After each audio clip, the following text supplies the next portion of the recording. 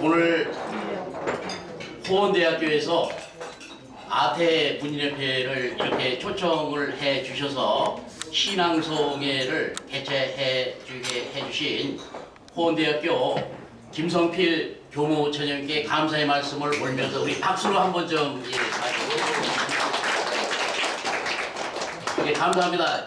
우리 아태 문인협회가 이제 그 걸마를 한 지 이제 한 달 정도 되었습니다.